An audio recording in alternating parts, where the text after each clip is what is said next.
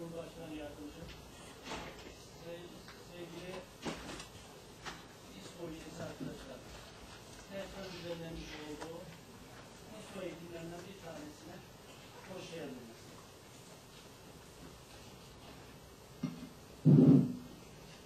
Arkadaşlar kusura bakmayın ses için.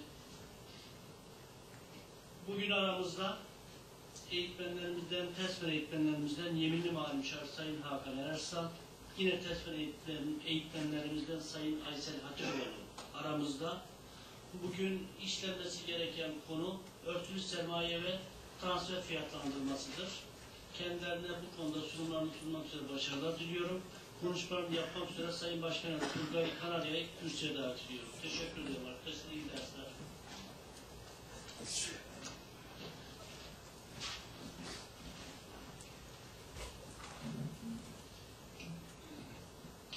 Değerli kurul arkadaşlarım, saygıdeğer eğitmenlerim, değerli meslektaşlarım, hepinizi İstanbul Mali Müşavirler Yönetim Kurulu adına saygı ve sevgiyle selamlıyorum. Değerli arkadaşlarım, Başkanımız Sayın Yahya Arıkan bir toplantı dolayısıyla il dışına çıktığından aranızda olamadı. O yüzden saygı ve sevgileri sunmamı istedi. Değerli arkadaşlar, ben birkaç konu hakkında sizi bilgilendirmek istiyorum. Daha sonra da eğitimimize başlamak başlayacağız. Değerli arkadaşlar, herhalde gündemimizin en önemli konulardan biri de herhalde Kamu Gözetim Kurumu'nun Ocak ayından itibaren şu beklenen yasayla ilgili olarak ne yapacağını herkes bekliyor. 2500 tane firma var. Bunlarla ilgili bakalım kimler yaklaşık 6000'e yakın kişi yetki aldı. Kamu Gözetim Kurumu'ndan bunlar 2500 tane firmanın denetimine tabi olacaklar. Ama ortada ne iş var ne başka bir şey. Çünkü zaten bunların 2000 tanesine yakını yaklaşık 2004'ten beri bağımsız denetimi zaten zorunlu olmadan yapıyorlar. Biz bunlarla ilgili olarak oda yönetim kurulu olarak biliyorsunuz dava açtık. Davanın peşinde takipçisiyiz. Davada talebimiz şu, kimsenin belge almasına engel olmuyoruz. Yani 15 yıllık olan arkadaşlarımıza niye aldın, niye gittin demiyoruz. Sadece serbest o mali müşavir arkadaşlarımızın, bakın mali müşavir arkadaş, bu belgeyi yani serbest mali müşavir belgesini arkadan arkadaşlarımızın aldıkları ruhsat yeterli olduğunu düşüncesindeyiz. 15 senelik bu mesleği yapmış arkadaşlarımızın bilgileri, becerileri diyeceğimiz gene bir şey yok. Ama bu ruhsatı alırken bir daha ruhsat, bir daha ruhsata gerek var mı? İşte tartıştığımız konumuzun bu zaten. Standartlarımıza bakıyoruz, dünya standartlarına bakıyoruz, eğitimde eksikler var, tamamladık. Biliyorsunuz yüzde eğitimler yaptık. Ama maalesef bunlarla ilgili hiç çaba göremedik. Kamu Gözetim Kurumu'na karşı mıyız? Kesinlikle karşı değiliz. Dünyada Kamu Gözetim Kurumu her ülkede vardır, bizde de olmalıdır. Ama yapacağı eylem, yapısı hep sınırlıdır. Denetçinin sadece ve sadece denetimin niteliğini, yapısını denetler. Yani raporun niteliğini. Denetçi eğitimini vermez. Denetçinin imtihanını yapmaz. Sicil kütük sistemini dünyada yoktur. Ama bizde öyle bir yetki verilmiş ki hem savcı, hem polis, hem hakim. Sonuçta karşınızda şu anda gördüğünüz düzen. Yarınlar çok da ileride değil. Burada.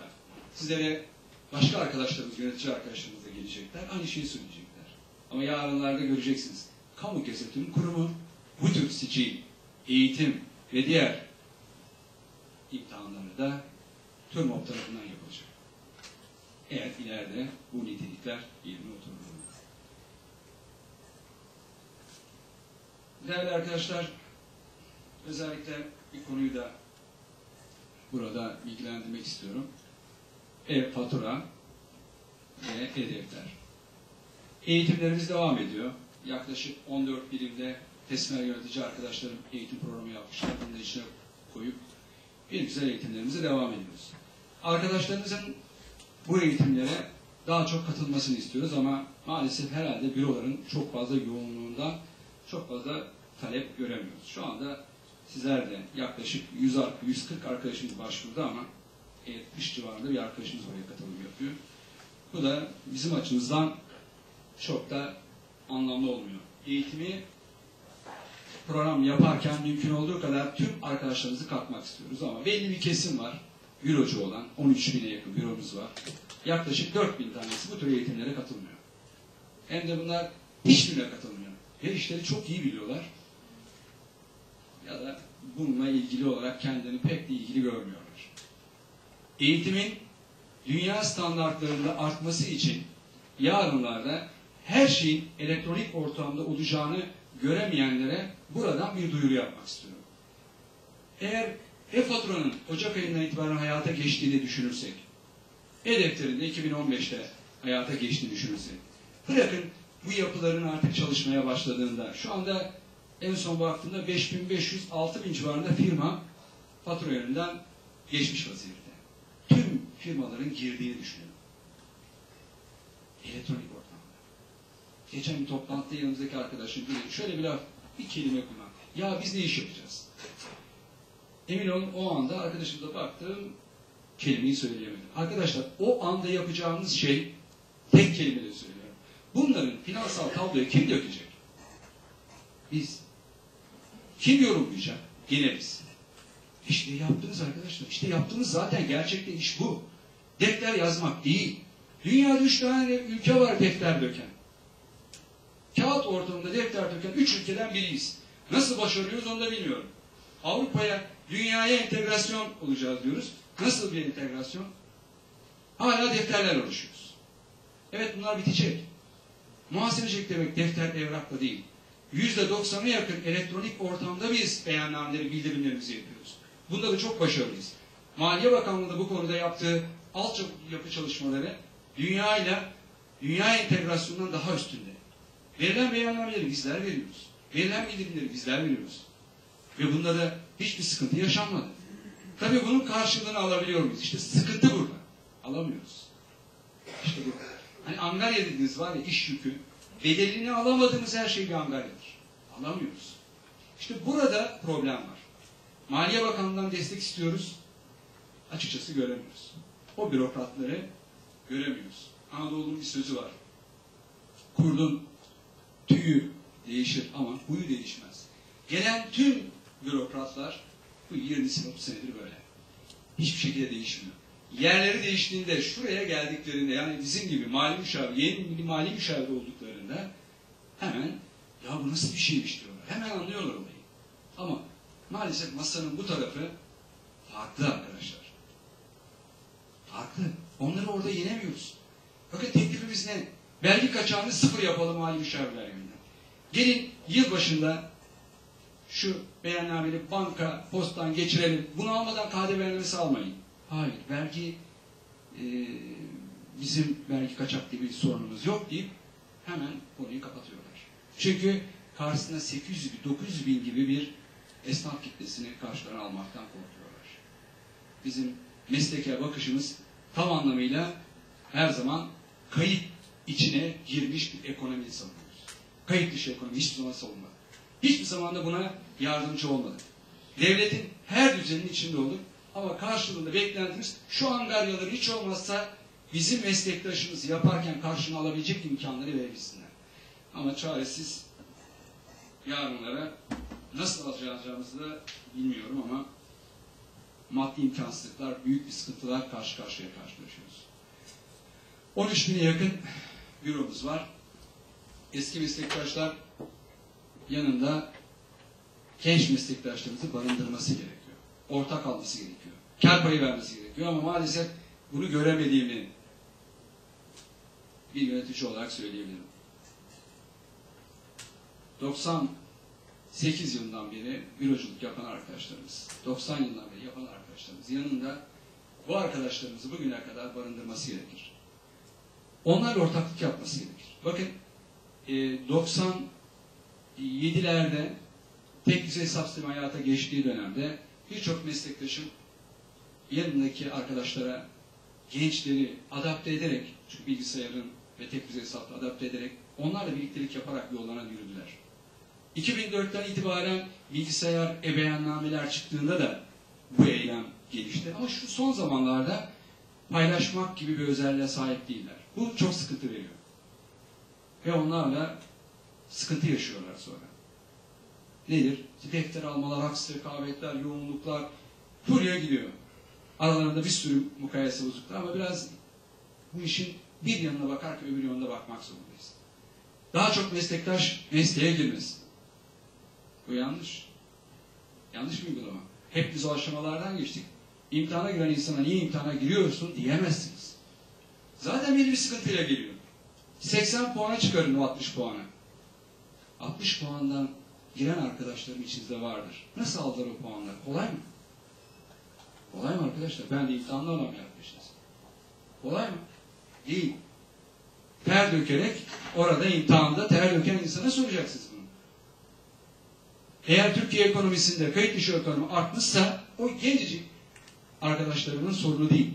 O sorun hepimizin sorunu, ülkenin sorunu. Bunu çözmenin yoluna bakacağız. Paylaşacağız. Yarınlarda hepimiz bir tek şeyi yapmalıyız. Birlikte ve beraberce çalışmak zorundayız. Tek başınıza ayakta kalma şansınız yok. Maalesef bunu acı ama gerçek. Birleşeceksiniz. Biz kurumsal, kurumsallaşma birimi kurduk. Bütün oradan bilgi alın. Nasıl yapabileceğinizi görün. Şirket, şirketleşin. Birlikte hareket edin. Başka türlü kalabilme şansınız yok. Dört büyükler diyoruz şunlar bunlar. Neden birlikteler? Neden hareketleri daha hızlı? Neden çok büyük bir kesime hizmet veriyorlar? Çünkü birlikte hareket ediyorlar. Kavga etseler birlikte hareket ediyorlar. Bizde ise iki arkadaşımızın ortaklığı bile o kadar kötü oluyor ki bir araya gelemiyoruz. Tek başımıza o küçük bir olarak sıkışmış kalmış vaziyetteyiz. Yarınlarda o teknolojinin tam anlamıyla yerleştiğinde mükellef sizden hizmet bekleyecek. Artık mükellef çok bilgili. İnterneti açtığı zaman önüne Google'a yazdı mı şak diye her şey çıkıyor. O Google başımızın belası. Bakın noterler ücret tarifesi istiyor çok arkadaşım. Beni arıyorlar. Ya diyor noter masrafını bastı mı tak karşısına çıkıyor. Onunla ilgili yorumları bile okuyorlar. Ondan sonra meslektaşın karşısına gidiyor. Giderleri anlatmaya çalışıyor. Çok basit aslında ama anlatmak da kolay. Ama maalesef zorlanıyoruz.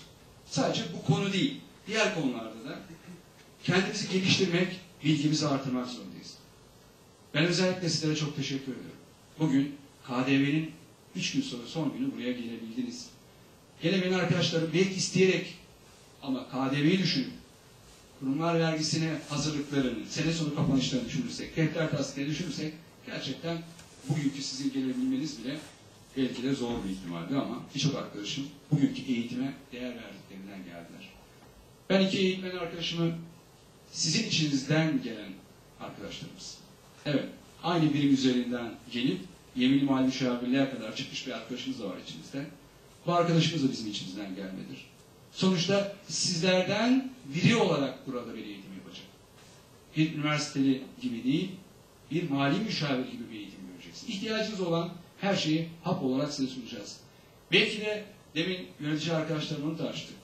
Belki de bir iz değeri de olsa bir rakam koysak buralar bu kadar boş kalmaz. Eğitimde bir sistemdir, bir maliyettir. O yüzden bir düşünmemiz gerekiyor galiba. Sözlerime çok önemsediğim bir konu üzerinden son vermek istiyorum. Değerli arkadaşlarım, haksız rekabet. Aynı zamanda ben başkan yardımcının yanında haksız rekabet kurul başkanlığı yapıyorum. Çok büyük bir sorun. Haksız rekabet aynı zamanda tetiklediği olay tahsilat sorunudur. Yani en büyük sorunlarınızın başında geliyor. Herkes çözeceğim der. Hatta buralarda arkadaşlarımız tahsilat makbuzunu işte tahsilat yapalım, maliyeye verelim. Nasıl bir serbest e, ruh onu anlayamıyorum. Maliye Bakanlığı bizim gelince tahsilat yapacak, bize para verecek ve biz de o parayı güzel yiyeceğiz. Maliye Bakanlığı kendi parasını tahsil etse 6 ay sonra af çıkarmaz arkadaşlar. Nerede böyle bir şey? Yok dünyada böyle bir sistem ki. Bizler kendi tahsilatımızı kendi yapmak için teknik ve bilimsel ve teknolojik olarak bu işi becermek zorundayız. Bunu yapmanın yolu da biraz da birbirimizden geçiyor. Birbirimizi kollamamız gerekiyor. Geçen yıl isteğe bağlı bıraktık. Bir sözleşmeyi lütfen dedik bütün arkadaşlarımız internetten yapın. Elektronik ortamda yaparak bize bilgi verin. Kim nasıl gitmiş onları görelim.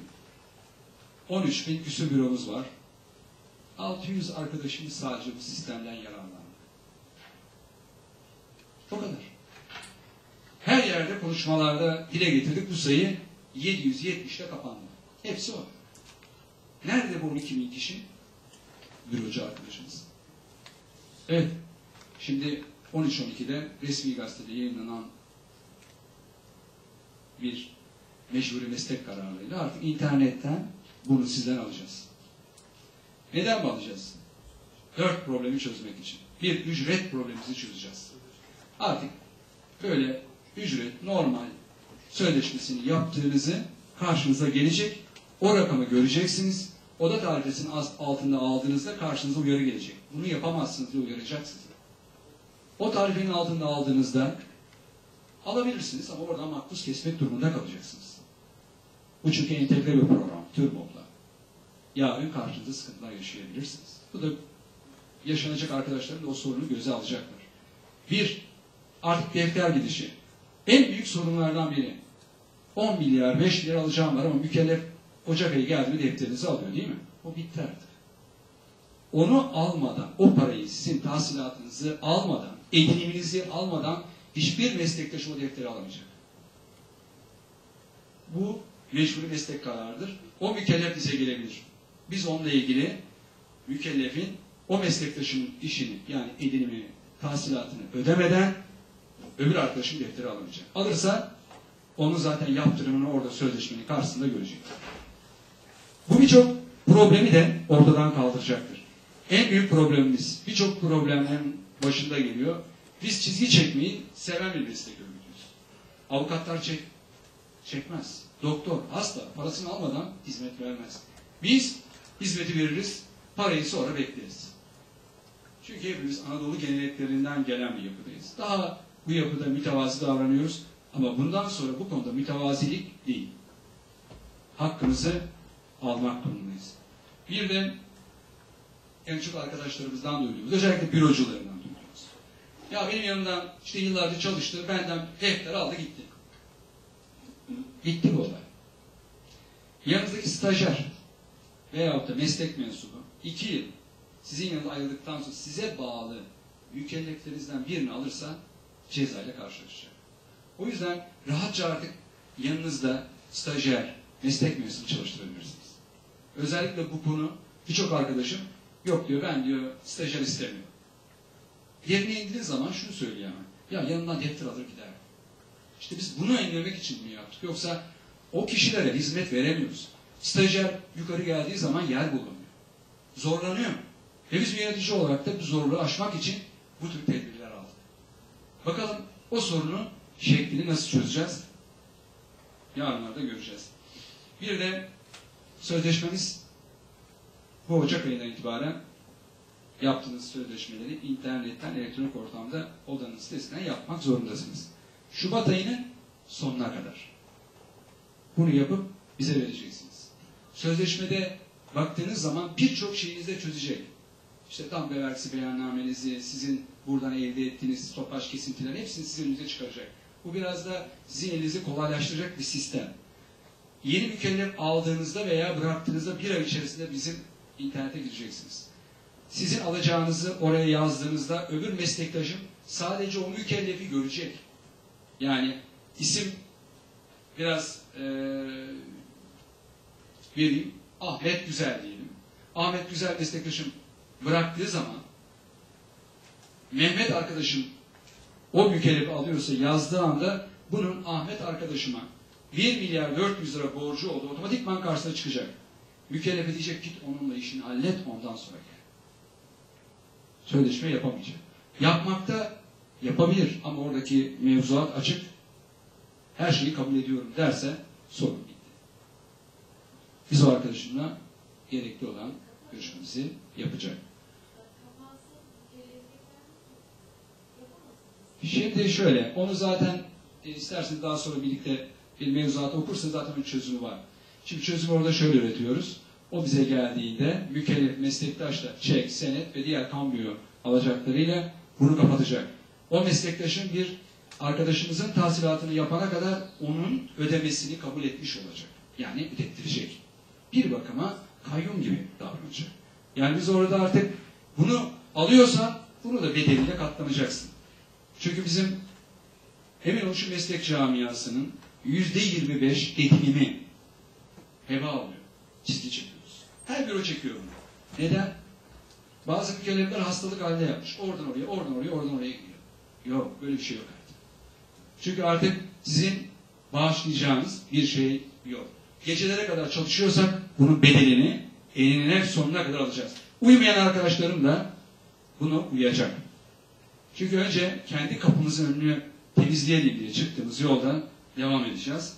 Ben eğitime bize geçmeden önce değerli arkadaşlarımız kendini tanıtacaklar. Öncelikle Hakan Eraslan arkadaşımız sunum yapacak. Daha sonra da sevgili Aysel Hatipoğlu arkadaşımız yapacak. Ben kendilerini tanıtmalarını e, rica edeceğim. Öncelikle hepinize başarılı eğitimler diliyorum. Teşekkür ederim.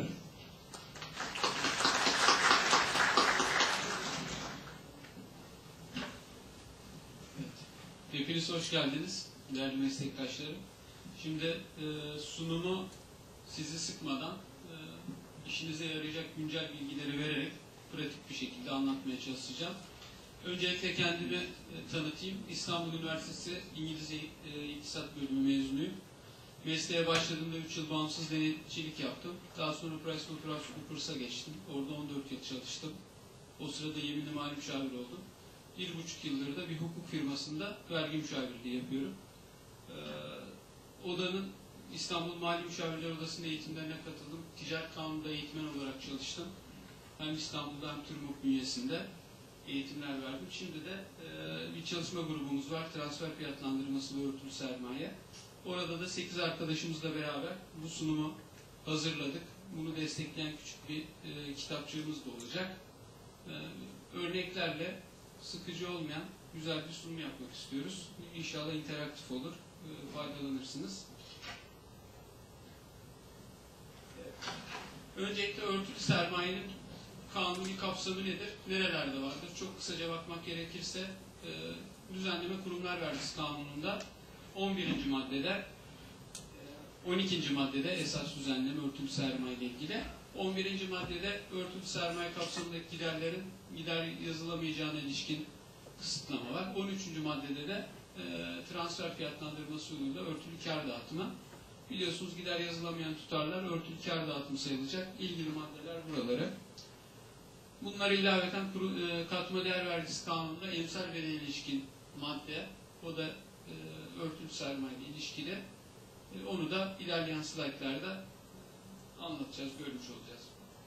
Kanundaki tanımına bakarsak örtülü sermaye nedir? İlk paragrafında var 12. maddenin. Kurumların ortakları ve ilişkili kişilerle kişilerden temin ettikleri borçlanmaların bir hesap dönemi içinde dönem başı sermayenin dönem başı öz sermayesinin 3 katını aşması halinde 3 katını aşan kısmı o dönem için örtülü sermaye sayılır diyor. Yani ortaklardan ve ilişkili kişilerden alınan borçlar için bir sınırlama koyulmuş. Öz kaynağın 3 katı. 3 katına kadar olan kısmı borç sayılıyor. 3 katını aşan kısmı örtülü sermaye sayılıyor. Şimdi şirketler örtülü sermaye kullanırlar. Daha doğrusu sermaye yerine borç kullanırlar. Niye kullanırlar? Yani önce bunu bir anlamak lazım. Bunu anlarsak iş kolay çıkıyor. Ee, kurumsal finansman e, dersi hepiniz almışsınızdır. Zaten bizim işimiz. Bir işletme kurulurken zaten bir yatırımcı gelir der ki bütün işletmenin sermaye ihtiyacı şu kadar lira. Bunu nasıl finanse edelim? Müşavir olarak ne öneriyorsunuz? Ne kadar sermaye koyalım? Hepsini sermaye mi koyalım? Bir kısmını borç mu koyalım? İkisini mi karma mı yapalım? Hatta e, finansman teorisinde de buna ilişkin bir sürü teoriler var. Bunlar aslında hepsi güncel ihtiyaçlardan karşılık, e, kaynaklanıyor. Ne kadar sermaye koyalım, ne kadar şey koyalım, borç koyalım. İlk, ilk sebep e, vergi gibi gözükebilir. Vergidir de. Vergiyle ilgili olmasının sebebi ne? Sermaye koyarsak faiz ödeyemiyoruz. Ödesek bile değil mi? Sermaye üzerinden ödenen faizler gider yazılmaz. Ticaret kanununda hüküm var. Hazırlık devresi faizi değil mi? Gider yazılmaz. Ee, hazırlık devresi için faiz ödenebilir ama bu da gider yazılmaz. Ee, dolayısıyla e, yazılan kısmı ne olur? Borç para, borç parayla şirket finanse edilirse borcun faizini ve kur farkını gider yazıyoruz. Sermayeninkini yazamıyoruz. Dolayısıyla gider yazabildiğimiz için o zaman işletme sahipleri e, işletmelerine bir miktar sermaye ile olduğu kadar bir miktar borçla da finanse etmeyi tercih edebilirler. Ortaklar sermayelerini korumak isterler ama e, işletme sermayelerini korumak isterler ama işletmeye sermaye olarak koyulan tutar, tutar ne olur? Türk lirası olarak sabitlenir ve e, neye maruz kalır? Kur riskine maruz kalır. Özellikle yabancı yatırımcılar da sermayelerinin kur riskine maruz kalmasını hiç istemezler ve dolayısıyla mümkün olduğu kadar işletmelerine krediyle finanse etmek isterler. Hele belirsizlikler varsa, ekonomik belirsizlikler, siyasi belirsizlikler varsa parayı da kolay çekmek isterler. Sermayeyi çekmesi zordur ama borcu geri çekmesi çok daha kolaydır. Likit sermaye sahip olma isteği dedik değil mi? Hatta yatırımcılar ne yaparlar? Eskiden e, sermaye yerine sermaye avansı getireyim aman sermaye avansı kalsın. Mümkün olduğu sürece. Çünkü o dönemde 32 sayılı karardaki hüküme göre e, sermaye avansı istenildiği zaman geri gönderilebiliyordu değil mi? Geri gönderilene kadar sermaye avansı geri gönderilmeye karar verildiği an borç statüsündeydi. Dolayısıyla daha likitte sermaye üzerinden faiz tahsilatı yapılmıyor hazırlık dönemi hariç fakat krediler üzerinden, borçlar üzerinden faiz de ödenebiliyor. Dolayısıyla işletmesine krediyle finanse eden kişi e, faiz tahsilatı yoluyla düzenli olarak para çekme imkanına kavuşuyor. Özellikle yatırım dönemindeki şirketlerde kar elde etmedikleri için ortağına kar dağıtamaz hale gelebilir. Bunu engellemek için e, sermayenin bir kısmı borçla da finanse edilebilir ve kâra geçene kadar faiz ödemesi belli bir miktar ortaklara yapılabilir. Son olarak ne söyleyebiliriz? Şirketler, grup şirketleri, uluslararası şirketler karlarını tek merkezde toplamak isteyebilirler. Bu da karın transferinde de kurum karına e, ticari kar olarak mı transfer edelim yoksa faiz ödemesi olarak mı transfer edelim anlamında da bu bir e, uygulama alanı bulur. Evet.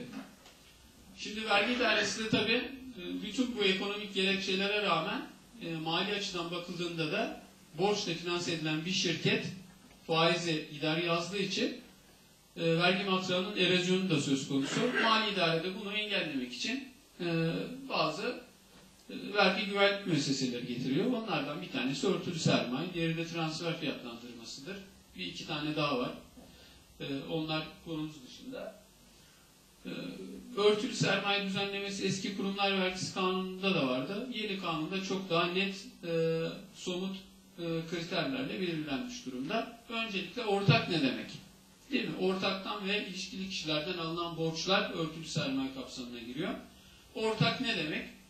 Bir kurumun e, oy hakkına sahip olan kişi e, veya kar payına sahip olan kişi veya hissesine sahip olan kişi ortaktır. Ortaklık, ortaklık için belli bir sınırlama getirilmemiştir. Tek bir hissesi olan bir şirkete tek bir hissesi olan bir kişi de o şirkete ortaktır. Veya oy hakkını kullanıyorsa yine ortaktır. Veya kar payı hakkına sahipse yine ortak statüsündedir. Örtülü sermaye uygulaması için sadece. Ticaret kanunu uygulamasından bahsetmiyoruz. Burada e, tebliğde belirtilen bir şey var, açıklama var. Şirketlerin iştirakleri de ortak sayılıyor. Bu kanunun içinde tebliğin içinden çıkarıyoruz bunu. Tebliğin verdiği örneklerde. Bir şirketin hissedarı ortağı sayıldığı gibi bir şirketin iştirak ettiği başka bir şirket de örtülü sermaye uygulamasında ortak sayılıyor.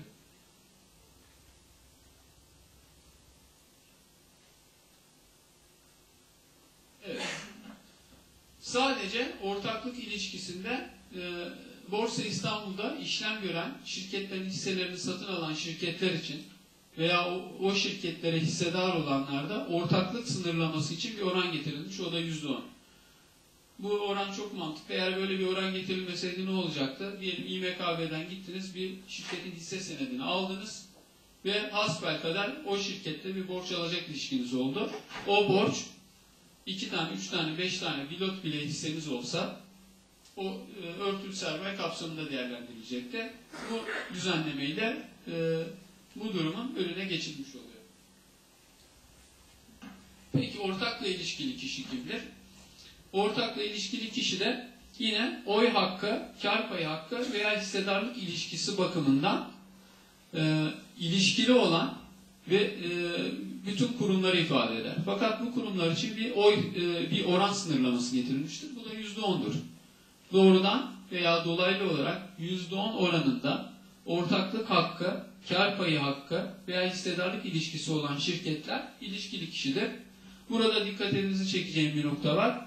İlişkili kişiyle yüzde on oranında ilişkisi olan bir şirket de örtülü sermaye açısından ilişkili kişi sayılıyor. Bunu e, bu slaytta görmek mümkün. Şimdi borç kullanan kurum var. Onun yanında ortak kurum var. Yüzde bir hissesi bile olsa değil mi? Ortak kurumun verdiği borçlar örtülü sermaye kapsamında. Ortak kurum dışında kimlerin verdiği borçlar örtülü sermaye kapsamında sayılır. Şimdi ikinci kademede ortakla doğrudan ilişkili kurum var. İlişki oranı yüzde yirmiymiş. Mesela örnek verelim. Yüzde yirmi hissesini elinde tuttuğunu varsayalım. Ee, bu ortakla doğrudan ilişkili kurum eğer borç kullanan kuruma kendisi borç vermiş olsaydı bu borç örtülü sermaye kapsamında değerlendirilecekti. Bir kademe arkaya gidelim. Ortakla dolaylı ilişkili kurum. Yüzde seksen o yak, e, kar e, hissedarlık ilişkisi var diyelim ki. Borç kullanan e, kurumun ortağıyla ilişkisi ilişkisinin oranı ne? Yüzde yirminin yüzde seksenini tutuyor değil mi elinde dolaylı olarak? Yani yüzde on altı. Dolayısıyla e, ortak kurumun yüzde on altı hissedarı ikinci kademedeki şirket. Dolayısıyla bu şirketten alınan borçlar da örtülü sermaye kapsamında. Kanun metnine iyice bakarsak e, ilişkili kurumun hissedarı olan şirketler de e, ilişkili kişi sayılıyor. Yukarıdaki kutuya çıkarsak ortakla dolaylı ilişkili kurumun hissedarı şirket de borç verirse bu da örtülü sermaye kapsamında. Hatta tebliğdeki örneklere bakarsanız oraya uzatmış. Benim %10 yazdığım yere e, %11 demiş. Onun üstüne de bir tane daha şirket koymuş. O da demiş ki bu ilişkili kurum hissedarının %90'ını elinde tutuyorsa e, dolaylı olarak aşağıdaki ortakla dolaylı ilişkili kurum %80'lik kurumun da %10'un elinde tutmuştur. Dolayısıyla bu da örtülü sermaye kapsamındadır diyor. Bunlara dikkat edeceğiz. Günlük hayatta bu derece karmaşık bir şey çıkmaz. Grup şirketlerinde bile çıkmaz. Yani çok zor bir şeydir böyle bir şey çıkma ihtimali. Çünkü grup şirketleri genelde e, yüzde yüz oranında hissedarlık veya yüzde doksan oranında e, hisseye sahiptirler. Böyle bir şey çıkma ihtimali çok düşük ama yine de dikkat etmek lazım.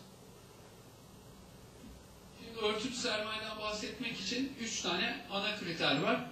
Birincisi ortaktan veya ortakla ilişkili kişiden borçlanılmış olması lazım. İkinci önemli kriter ne? Borcun işletmede kullanılması lazım. Yani borç alan kurum aldığı borcu kendi kullanacak. Aldığı borcu başkasına verirse kendisinde örtülü sermaye olarak değerlendirilmez. Üçüncü kriter ne? Öz sermayenin, dönem başı öz sermayenin üç katını aşacak. Şimdi bu borçların işletmede kullanılması ile ilgili bir örneğimiz var burada. Kurum A, kurum B ve kurum C bunların hepsinin ilişkili olduğunu varsayın. Kurum A 2000 lira 2 milyon lira borç alıyor bir bankadan. Ee, B B şirketi A şirketinden 2 milyon lira borç alıyor ilişkili şirketten ve bunun yarısını kurum C'ye veriyor. Bu durumda bu borç nerede örtülü sermaye sayılacak? Şimdi borcun yarısı kurum B'de kaldı, yarısı kendisinden başkasına transfer edildi. Yarısı kurum B'de örtülü sermaye sayılacak. Diğer yarısı nerede örtülü sermaye hesabına girecek? Kullanıldığı C şirketinde örtülü sermaye olarak dikkate alınacak. Öz kaynak hesabında hep, ne dedik? Dönem başı öz sermaye dedik. Dönem başı öz sermaye neye göre hesaplanacak? Vergi usul kanunundaki tanıma göre şirketin varlıklarıyla e, borçlar arasındaki farktır diyor vergi usul kanununa göre. Bir de tek düzen hesap planında öz kaynaklar var değil mi? Beşli hesaplar. Bazen tek düzen hesap planındaki beşli hesaplarla vergi usul kanunu 192'deki öz sermaye tanımı farklı olabiliyor. Şöyle ki vergi usul kanununda tanımlı olmayan karşılıkları ayırdığınız zaman VUK 92'de tanımlanan öz kaynakla tek düzen hesap planına göre hesaplanan öz sermaye farklı olabiliyor. Ve en basit örneği kıdem tazminat karşılığı vergi usul kanununda tanımlı değil. Veya diğer e, karşılıklar işte mahkemelerde diyelim ki işçi davanız var ona karşılık ayırıyorsunuz kaybedebilirim diye. Alacak davası değil. Dolayısıyla bu karşılık vergi usul kanunu tanımlı bir karşılık değil. Dolayısıyla bu aslında bu, bu, bu, bu hesabındaki öz sermayenin hesabına dikkate alınmaması gerekir. Bu konuda bir boşluk var. Hatta enflasyon düzeltmesinde de aynı konu vardı. Yargıya taşınmıştı. Yargıdan olumsuz e, kararlar geldi. Yargı tek düzen hesap planına göre hesaplanan mali tablodaki öz sermayeyi dikkate alma eğiliminde. Maalesef farkı anlayamadı, anlatılamadı birkaç davada. Bu da dikkat edilmesi gereken bir nokta. Dönem başı öz sermaye ile ilgili. Aktif toplamından borçları çıkarttığım zaman öz sermaye ama hangi tanıma göre? Vergi usul kanununda tanımlanan e, aktif ya borçlara göre. Tek düzen hesapla değildir aslında. Evet. Dönem başının e, öz sermayenin negatif olduğu bir sürü durum var. Değil mi? Bir sürü şirket var. E, teknik iflas e, durumuna gidebiliyor. Sermayesi negatif olabiliyor. Eğer sermayesi negatifse dönem başındaki ne yapacağız? Dönem başı öz sermayesini sıfır olarak dikkate alacağız. Bu durumda ilişkili kişilerden aldığı bütün borçlar örtülü sermaye kapsamında. Yani o borç üzerinden ödediği bütün faiz, kur farkı hesapladığı hiçbir gider kurumlar vergisi matrağından indirilebilecek. Şirketler kurulurken neye dikkat edeceğiz? Şirketler kurulurken diyorlar ki e, biz ne öneriyoruz? Genelde danışman olarak şunu öneriyoruz. Diyoruz ki işletmenin işletme sermayesi ihtiyacının dörtte birini sermaye koyun, dörtte üçünü borç verin. Tamam mı? Niye? O zaman borç sermayenin, öz sermayenin üç katına aşmamış oluyor. O kadar. O sınıra dikkat ediyoruz. Ama kuruluşta da dikkat edeceğimiz bir şey var artık.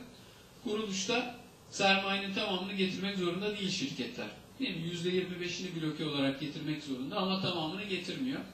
O zaman diyoruz ki kurulduğu yıl bloke olarak gelen para neyse kuruluştan önce öz sermaye hesabında o dikkate alınacak. Eğer o yıl içinde borçla finanse etmeyi düşünüyorsa şirket paranın tamamını e, kuruluştan önce getirecek hesabına koyacak. Yıl içinde sermaye arttırdım, para getirdim avans olarak o veya bu şekilde yıl içinde öz sermayede meydana gelen artışlar dikkate alınmıyor.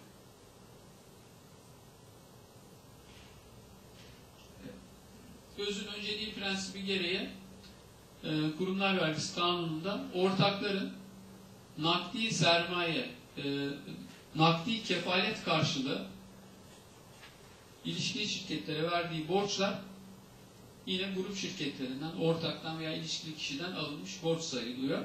Kanun metninde nasıl işlemiş bu? Gayri nakli teminatlar karşılığında alınan borçlanmalar örtülü sermaye kapsamına girmez diyor. Uygulama alanını nerede buluyor?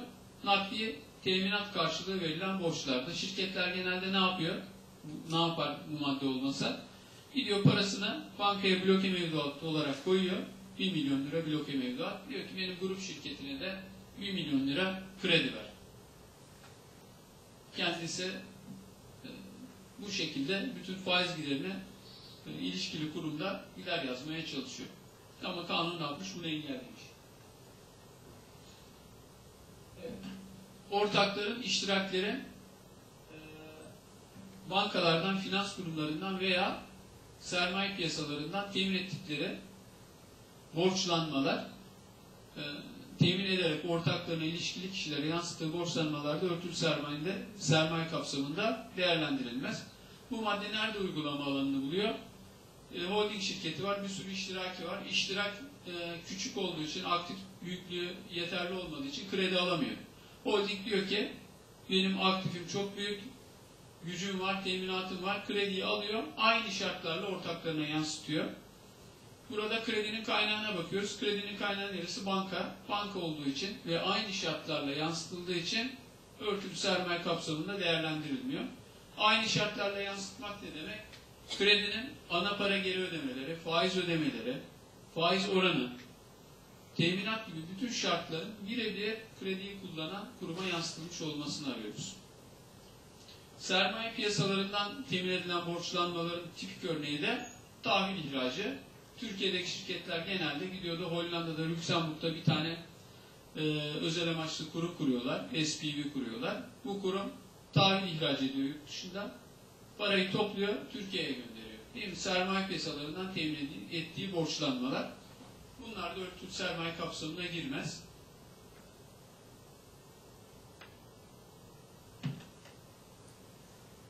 Evet, bankalar tarafından yapılan borçlanmalar örtülü sermaye kapsamında değerlendirilmiyor. Çünkü bankaların işi zaten para ticareti, mevduat toplar, borç alır ve kendisi borç verir. Onun için bankalar açısından bir sınırlandırma yok.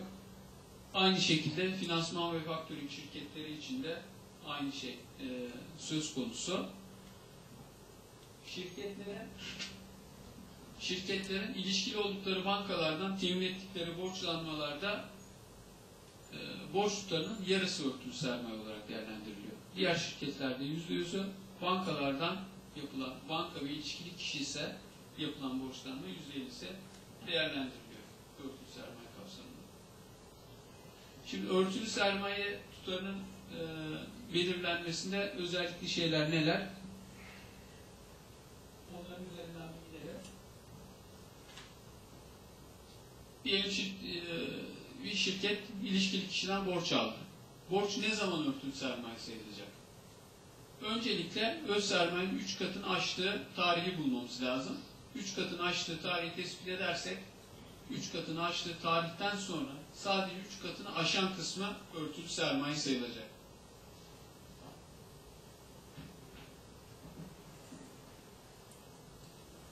Bilgisayarı çevirdim kendim de göreyim diye. Nerede olduğunu göremiyorum.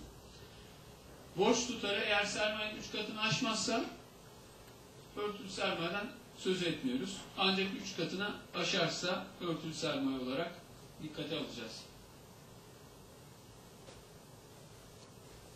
Evet. Şimdi ortaklardan ve ilişkili kişilerden borcumuz olduğu gibi alacağımız da olabilir. Bunları netleştirebiliyor muyuz? Netleştiremiyoruz. Çünkü borç ve alacak hukuken ayrı ayrı hukuki işlemlerden doğarlar. Bunlar zaten ticari hayatın gereği olarak birbirinden netleştirilmez. Mesela bir şirketten borç almışımdır ama aynı zamanda bu şirkete de mal sattığım için alacağım vardır. Bunları netleştiremeyiz. Ama bazen şirketlerde muhasebeciler ne yapıyor? Diyorlar ki e, tahsilatları rahat göreyim diye tahsilatları başka hesaba gireyim, mal hareketlerini başka bir hesaba kaydedeyim. Bunlar özünde ticaret hukuku açısından tek bir borç alacak ilişkisini ifade eder. Bu türde olanlar varsa bunlar netleştirilebilir ama bunlar istisnai durumlar. Genelde netleştirilme yapılmaz. Yıl içindeki öz sermaye tutarındaki değişiklikler dikkate alınmaz demiştik onu. Ve örtülü sermaye günlük olarak hesaplanması gerekir. Günlük hesaplamayı nasıl yapacağız? Birden fazla ilişki olabilir. Ben nasıl takip ettiğimi söyleyeyim. Bütün e, ilişkili kişilerden olan borçları bir Excel'e, Excel sayfasına ayrı kolonlara yapıştırıp ondan sonra borçların toplamını alıp öz kaynağında bir yere yazıyorum. Üç katı ne kadar aşan kısmı tespit ediyorum. Aştığı an sinyal yanıyor. Kırmızı alarm veriyor. Aşan kısmı ilişkin kur farkı var mı? Faiz var mı? Onu takip etmeye başlıyoruz. Düzeltmesi nasıl yapılacak? İlerleyen slaytlarda göreceğiz. Yabancı para cinsinden borçlanmalar var. Değil mi? Aslında en büyük kısmı da yabancı para cinsinden borçlanmalar. Bunlarda borcun alındığı tarihteki kurla değerleme yapıp örtülü sermaye hesabına bakacağız. Örnek veriyorum. Öz sermayemiz 100 lira. Dönem başı öz sermaye. Borç aldım. Ee, döviz cinsinden borcu aldığım tarihte 280 liraya tekabül ediyor. Yıl içinde kur arttı arttı 350 oldu. O yıl için bu dövizli borç örtülü sermaye değil. Çünkü alındığı tarihe bakıyoruz. Alındığı tarih ne zaman? Atıyorum 7 Temmuz. 7 Temmuz'da ne kadardı? 280 liraydı. O yılda o borç yıl sonunda 350 liraya çıksa bile kur farkı dolayısıyla o borç örtülü sermaye kapsamında değil. Ama birden fazla varsa onu bakmak lazım. Hepsini birlikte değerlendirmek lazım. Yabancı para cinsinden bir borç. Borcu aldık. Diyelim ki 2012 yılında 7 Temmuz'da aldık. Ee, yıl sonunda 350 liraya ulaştı. 2012 yılı için örtülü sermaye kapsamında değil ama 2013'te de ödenmedi. O zaman o borç 1-1-2013'te 350 lira ama 350 2013 yılı için 350 lira olarak değerlendirmeye başlıyor. O yıl için öz kaynağı değişmediyse yılın başından örtülü sermaye kapsamına giriyoruz. Ne kadar? Öz kaynağım diyelim yine 100 lira olsun. 350 lira mı dönem başı e, ilişkili borç? 50 lirası örtülü sermaye kapsamında. Ve 2013 yılı hesaplamalarını da buna göre yapmak lazım. Piyasa koşulları ve ticari tahammüllere aykırı şekilde yapılan e, vadeli mal ve hizmet alımları. Aslında burada şunu söylemek lazım. Ticari tahammüle uygun mal veya hizmet alım satımı e, alımı dolayısıyla yapılan borçlanmalar varsa bu borçlar örtülü sermaye kapsamına girmiyor. Örnek vereyim. Araba satın alıyorsunuz. E, araba ticareti yapıyor şirket diyelim ki. Arabada ticari tahammüldeki vade ne kadar? 15 gün diyelim ki. 15 gün e, vade farkı da fiyatın içinde malı aldım. Ma, bu, mal alışı dolayısıyla borcum ne kadar olursa olsun örtülü sermaye kapsamına girmez. Hatta malı alırken ticari kamil 15 gün olmasına rağmen ben anlaşmamı başka bir şekilde yapabilirim. 2 ay vadeli alabilirim. Eğer baştan 2 ay vade mal alımının e, fiyatının içine koyulmuşsa yine örtülü sermaye kapsamında değerlendirilmiyor. Ne zaman değerlendiriliyor? 2 ay vadeli malı almama rağmen ikinci ay sonunda ödemedim. Ve borç birikti. 2 ay geçtikten sonra artık o borcun tamamı örtülü sermaye kapsamında değerlendiriliyor. Veya malı alırken anlaşmamda özel bir şey belirlemedim. O zaman ticari tahammüle bakılır. Bir ay mı? Bir ay. Bir ayı geçtiyse borcun tamamı örtülü sermaye kapsamında değerlendirilir. Bu en çok nerede karşılaşır? Karşılaşılır. E, Türkiye, yabancı şirketlerin Türkiye'deki iştirakleri ne yapar? İthalatını grup şirketinden yapar. Ve para ihtiyacı olduğu zaman bedelini ödemez. Tamam, o, o durumlarda neye bakacağız? Ticari tahammülde vade ne kadar? Mesela akaryakıt ticareti yapıyorsa akaryakıt ticaretinde 15 gündür bir aydır. Bir ay kesinlikle geçmez. Eğer ithalatta bir ay geçiyorsa vade o borcun hepsine mükellefe şunu dememiz lazım. Dur kardeşim bunun hepsi örtülü sermaye kapsamındadır. Bütün kur farkını hesaplayacağız. Faiz ödemesi varsa hesaplayacağız. Hepsini örtülü sermayede dikkate alacağız. Avanslar her türlü avans örtülü sermaye hesaplamasında borç olarak dikkate alınır. Her türlü avans. Eskiden sermaye avansı uygulaması varken sermaye avansı bile sermaye çevrilmediği için örtülü sermaye kapsamında dikkate alınıyordu. Bunun bir tane istisnası var. Sadece inşaat şirketlerinde hak ediş tutarı olarak ödenen tutarlar örtülü sermaye kapsamında dikkate alınmaz. Onun da gerekçesi çok açık. İnşaat işinde fatura ne zaman kesilir? İş bittiği zaman kesilir değil mi? Dolayısıyla normal inşaat işinin normal akışı içindeki hak ediş ödemelere e, örtülü sermaye kapsamında değerlendiriliyor. Normal bir borç alacak ilişkisi olarak değerlendiriliyor. Şimdi bankalardan elde edilen borçlanmalarda borç tutarının yarısını dikkate alındığını söylemiştik. Bir örnek verelim. Mesela e, Yapı Kredi Bankası Koç grubunun bankası değil mi? Yapı Kredi Bankası gidiyor Arçelik'e e, kredi veriyor. Arçelik açısından bu nedir? Örtülü sermaye kapsamında bir borçtur. Çünkü ilişkili kişiden alınmış bir borç. Arçelik neye bakacak? Borcun yarısını alacak bir kere dikkate. Değil mi?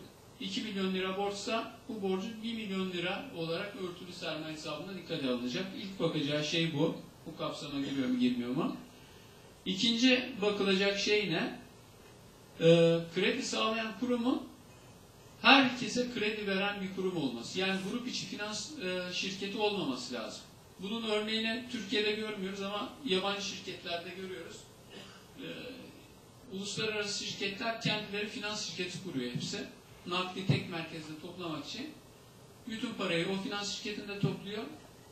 Kimin krediye ihtiyacı varsa, Türkiye'nin mi krediye ihtiyacı var, o finans şirketi Türkiye'ye gönderiyor. Şimdi bu tür kurumlar kapalı devre finans kurumu diye geçiyor. Sadece grup şirketine hizmet veriyor. Maliye Bakanlığı diyor ki bu tür grup şirketlere ne finans veren şirketler bizim için finans kurumu değildir. Eğer bir grup finans şirketi varsa işin içinde hemen neye bakıyorsunuz? Bu şirketin bankacılık yapma lisansı var mı? Ve fiiliyatta da herkese kredi veriyor mu? Vermiyorsa tamamını örtülü sermaye kapsamında dikkate alacaksınız. Diğer bir e, önemli konu ne?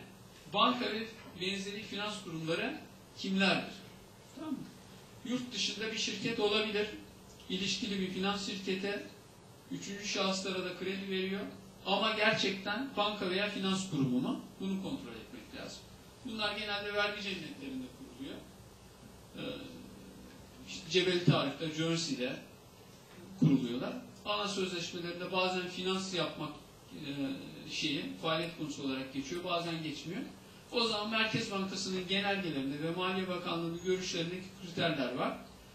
E, ilgili bulunduğu ülkede bankacılık e, yapma konusunda yetkilendirilmiş olması lazım.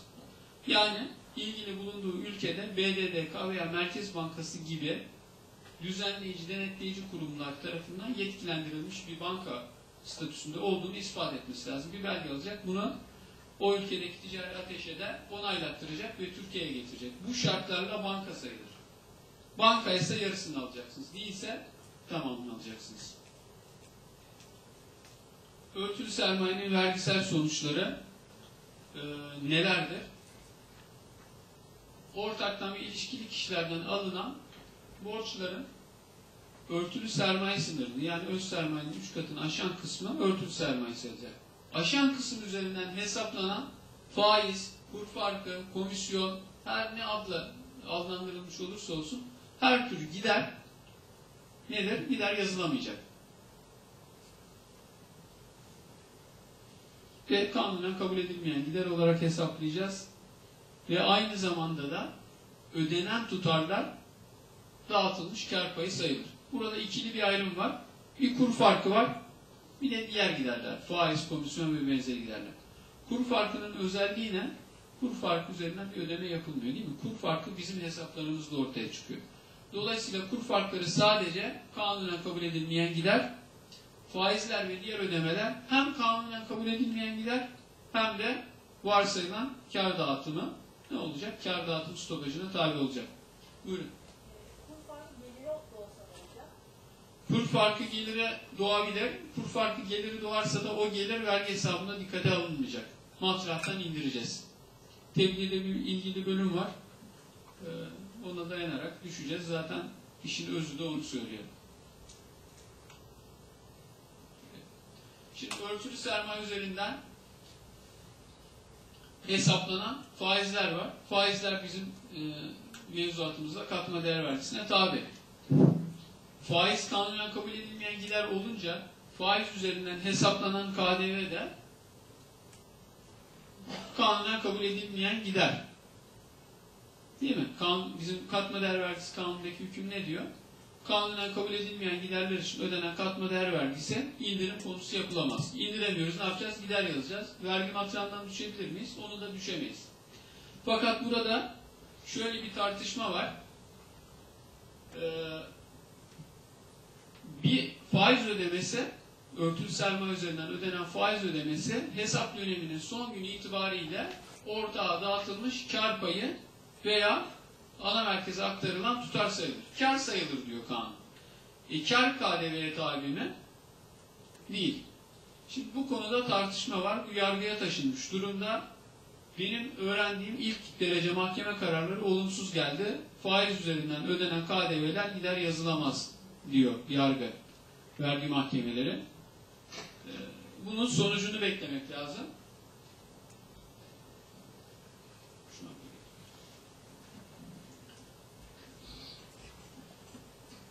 Katma değer vergisine o zaman şu an ne diye düşünelim?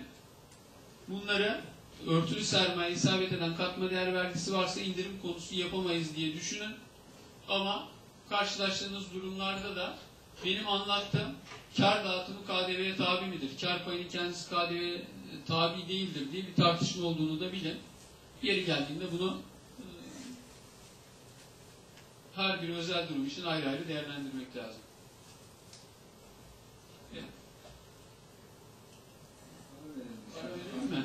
Evet, biraz dağılma görüyorum. İçerisinde biraz ısındı. Size bir 15 dakikalık bir ara verelim, bir çay molası yapalım. Ee, yavaş yavaş esnemeler fazlalaştı. Evet, ısınma.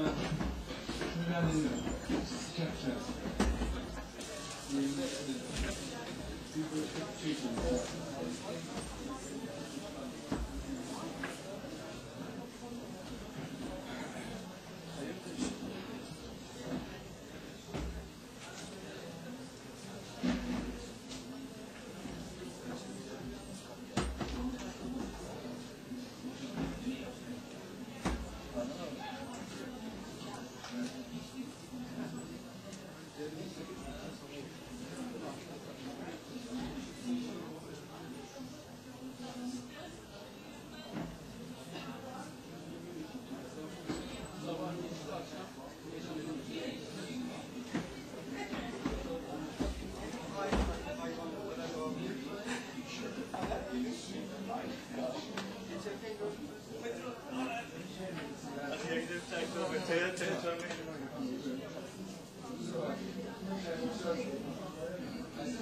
Thank you.